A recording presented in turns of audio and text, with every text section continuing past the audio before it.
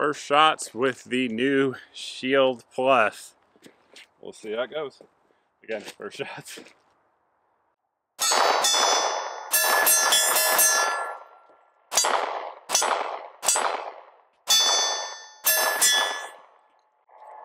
Can't really do better than that.